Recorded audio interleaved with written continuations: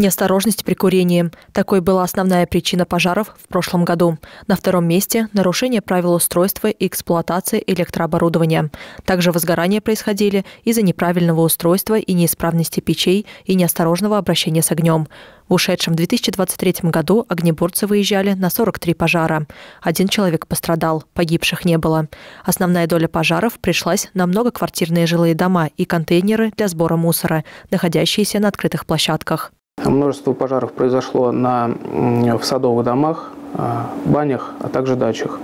А, причинами данных пожаров послужили неправильное устройство и эксплуатация электрооборудования, также неправильное устройство и неисправность печей. Был один пострадавший по результатам а, пожаров, произошедших в 2023 году.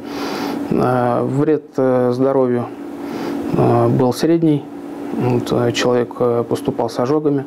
Период новогодних праздников также не обошелся без пожаров. В каникулы огнеборцы выезжали на два возгорания – в многоквартирном и садовом домах. Специалисты напоминают горожанам о правилах безопасности при обращении с огнем и электроприборами.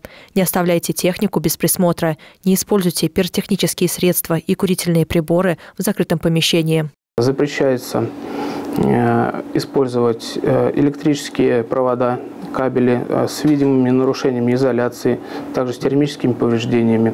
Э, кроме того, э, необходимо использовать газовое оборудование в рамках технической документации, не оставлять электронагревательные приборы и газовое оборудование без присмотра. При использовании открытого огня держите подальше легко воспламеняющиеся предметы, лучше всего на расстоянии не менее полутора метров. Также профилактические беседы важно проводить с юными саровчанами. Родители призывают напомнить своим детям о том, что игры с огнем опасны. Светлана Ярунова, Евгений Шикарев, Сергей Рябов. Служба новостей Саров, 24.